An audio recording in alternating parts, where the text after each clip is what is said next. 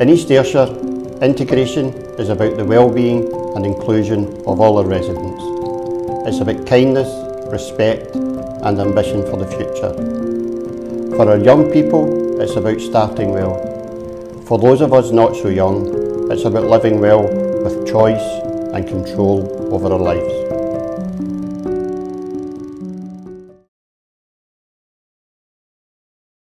Hi, my name's Frida.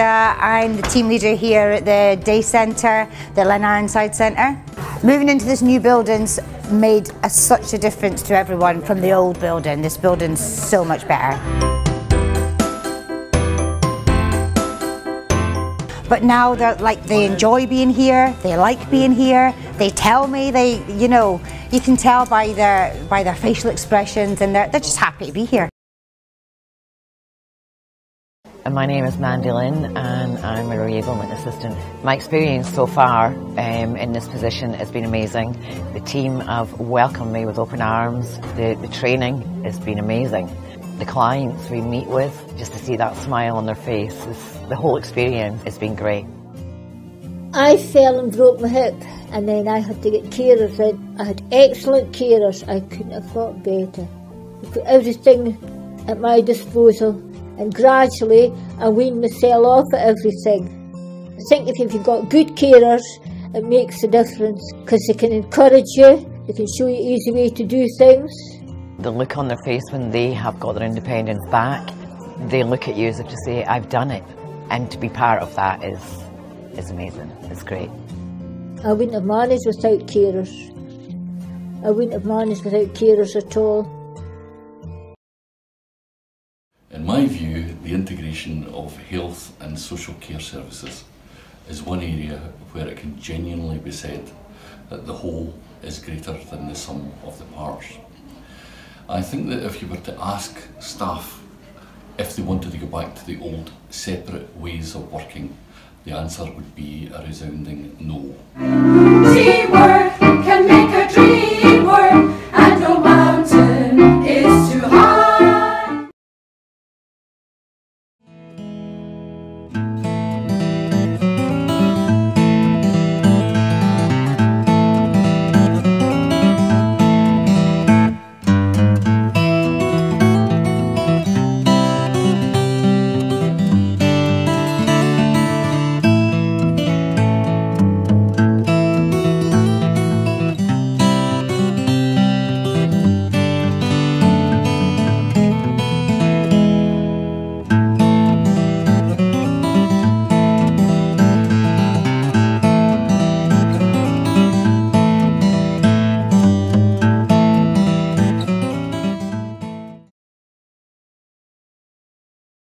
what I do is that I set the tables for the dinners.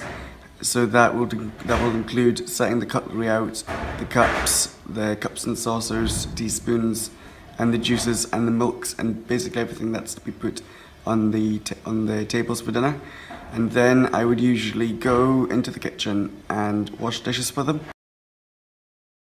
We're blessed within the borders of having access to some fantastic communities in all of our towns and localities.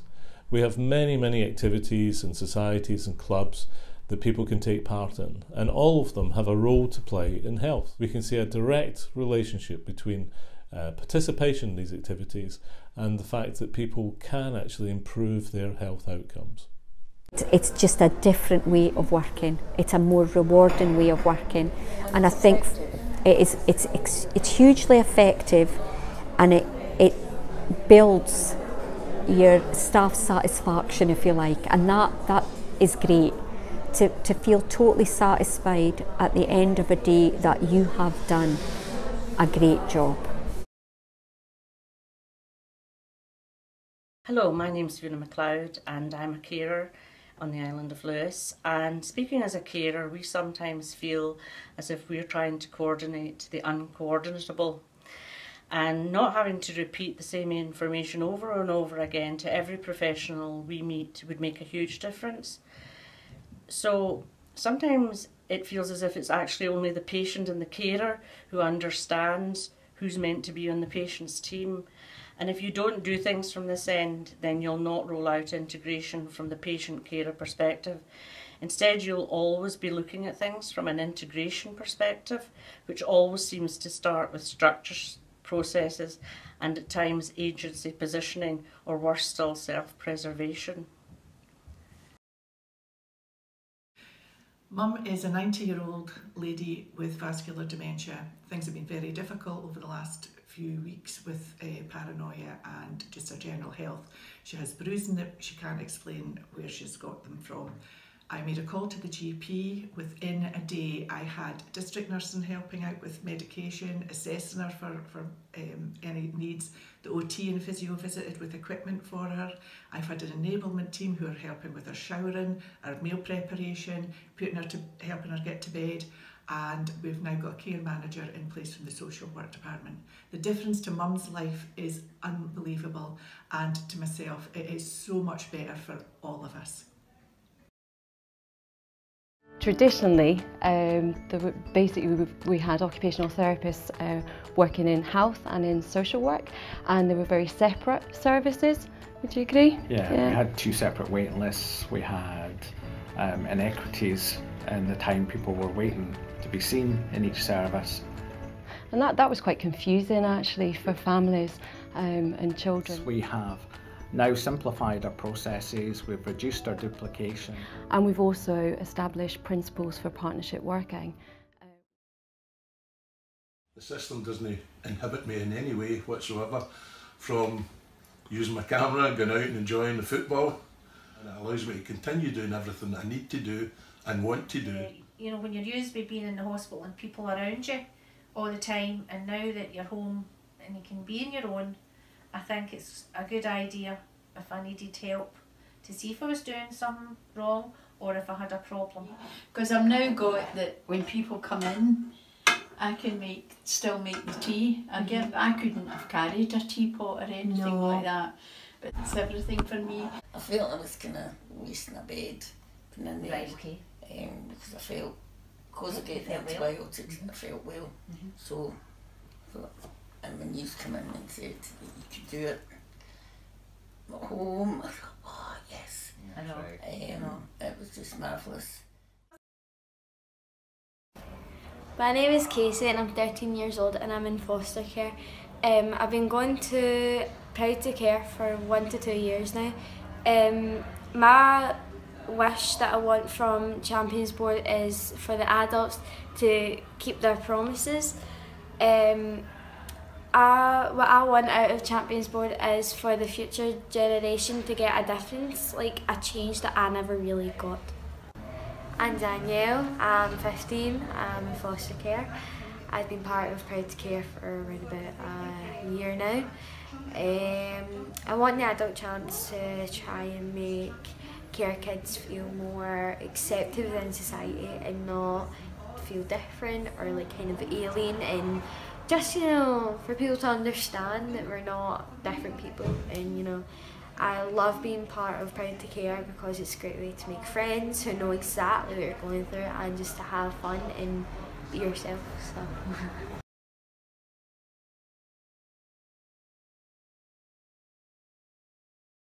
Um, I think you could generalise by saying we would refer people with a mixture of social and mental health problems would, would be the, the biggest group that we, ref, we refer on. And I think they're the people that gain most who perhaps have a chaotic lifestyle or can't easily find solutions to their problems that, that, that perhaps other people might be able to. Um, and I'd like to think that we try and uh, improve their health overall rather than just medicating people and sending them on their way. So I'd, I'd like to think it encourages us to look at people holistically rather than just look at ways of uh, improving their health through, through medication. Um, I think it's worked well for us because the wellbeing team are in the practice. We know who they are. They're part of the team. My name is Bobby Blackmore. I live in Bellsbank near Dalmellington. I'm a taxi driver. I heard about Flo originally from the doctors. As I say, I went to a health check evening at the local doctor's surgery discovered I had fairly high blood pressure. Uh, initially they were going to put me just straight on blood pressure tablets but then they decided they would uh, put me on Flo So my blood pressure was monitored by Flo uh, and over the course of actually almost six months after that they monitored my pressure twice a week uh, and adjusted my blood pressure tablets until they were happy that my blood was stable. So the doctor issued me with a blood pressure kit which looks very like the, the blood pressure apparatus that the doctor uses. Uh, you take that home with you and uh, I think twice a week you get a text on your phone to say can you have your blood pressure reading you take your blood pressure yourself just the same as the doctor would take it and text that back to Flo I think everybody gains from it. I mean, I, I, I save from not having to go and sit and wait in the doctor's waiting room to get my blood pressure taken. Equally, the doctors uh, or nurses who was going to take your blood pressure save and not having to see me when I've got other people with more important issues Link unit is based in Newton Stewart.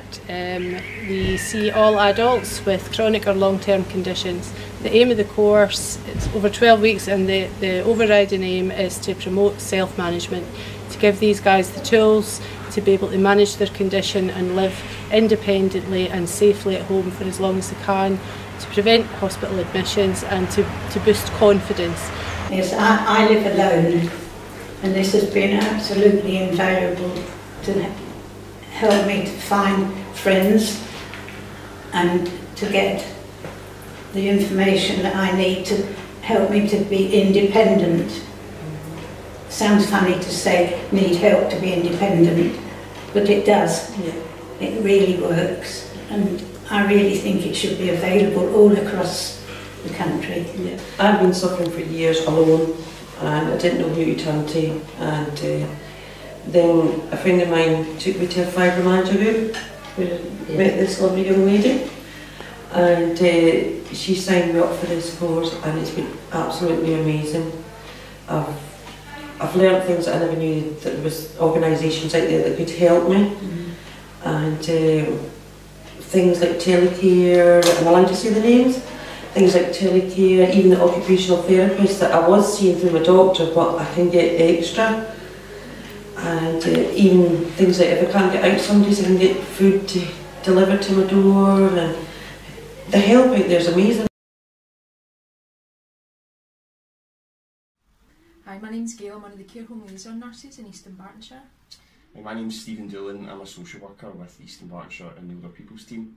Uh, me and Gail recently had the opportunity to work together collaboratively to, the, to support a local care home. One of the benefits of this was that we were able to get multiple perspectives on health and social care and um, we were able to draw on each other's um, skills and knowledge base to develop positive outcomes. We also learned about each other's role and how it fits into the organisation and we were able to de develop communication and networking to allow easier collaboration in the future. And having had this opportunity to work together, it's created relationships and will subsequently work together to support older, older adults um, in East Dunbartonshire and promote more communication and joint working. Edinburgh's Health and Social Care Partnership has taken a collaborative approach around the people they support and care for. The MAC, the multi-agency multi-agency triage team, is an illustration of this. It's a daily meeting that is shared across acute, third sector and partnership staff focused on people who've been admitted to hospital in the last 24 hours, delayed discharges and those people at risk of admission.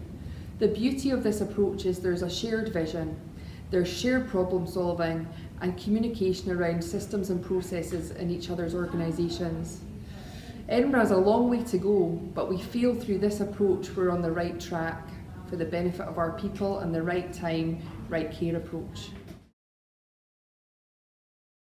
Hi, my name's Stephen. I'm a recovering addict. I used drugs for a long, long time. I was on methadone for 25 years uh, through CAT teams.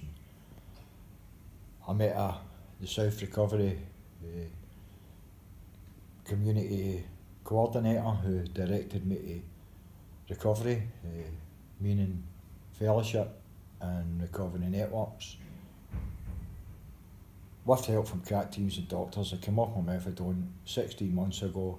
I'm now a, a lead volunteer with the South Recovery Community Network, uh, putting a bit back into life. I don't think I could survive without the Mackenzie Centre. It is an absolutely wonderful place and I'm so lucky to be here. It's done me a world of good just to get out the house Yeah. and have company. It's great because everything's laid on. You can get your hair done, get your nails done, you get the chiropodist, and the staff are lovely. And if they think you're low, they'll come and give you a cuddle, and that's Yeah, worth it's all, uh, uh, uh, all, Mm. all the difference in the world. Just have that cuddle Well- and feel someone's caring. That's what it's about, and they do care. I live for the days that I'm here. And my son would move back to Yorkshire, so I have no relatives up here. And without the day centre, I think I'd just go downhill.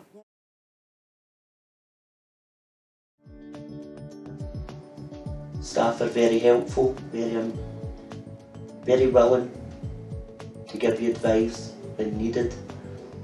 Found the group work especially very relative and very current and up to date. Helped me a lot. I took a lot with it. I went went to Ward Five with the the mindset I'll put in and I'll take away what I put into Ward 5 and I'll take away what I take away from Ward 5 and I took a lot away. I went in and my toolbox was empty. Came back out, my toolbox was full, which has helped me immensely today. My name is Margaret Brogan. Uh, I'm a carer for my husband, uh, Jim Brogan, who suffers from frontotemporal dementia. He's suffered from this disease for probably more than the six years he's been diagnosed from. Um, it's, uh, his condition has deteriorated quite markedly, um, and uh, I, I mean, I'm now looking at more support for him. I've decided to do self-directed support um, maybe about two years ago, maybe no more than that, more than two years ago. And once that kicked in, I found the support from social services was extremely good. I, I also, I need to mention this, there was a community connector and I had a really good chat with her and she gave me so much information. She was very helpful and going to Ayrshire Independent Living Network, they were very helpful too in getting the self-directed support set up. And uh, so far, is the self-directed support is working well. Well, here I am. I'm sitting in this chair, and my name's Margaret Thompson, and I'm not been well. They put me in the hospital and they didn't like it. They come and said that I maybe want to you maybe get home, you know. I says, well, if I'm going to get home, I'm wanting to go home. And she said, do you feel up to it? I said, aye, I feel up to it. Would who wouldn't feel up to it, eh? Getting a chance to go home. So that's what happened. I came to my friends. She had to phone the doctor. What a shame it was. And uh, they said I was a near a goner, but I'm here now and I'm intending to stay. But with the good support that I've had from the team, the community team, oh, it's been brilliant. There's two comes in every day, different two, different two at night from different two in the morning and so on and so on. And it's just variety and it, it just cheers you up. It wasn't. If it wasn't for the team, I wouldn't have probably lasted as long in my friend's house.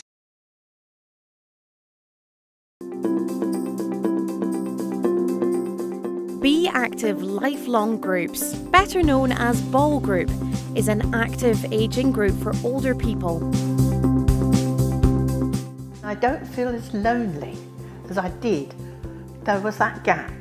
This gets us both involved, you know, socially as uh, and also physically because we do get exercise. I would be a recluse. My son phones me, sometimes several times a day, but there would be days go by and I wouldn't speak to a soul. Ladies come through that door. Everybody's got a smile on their face. It's a highlight of the week, this for me.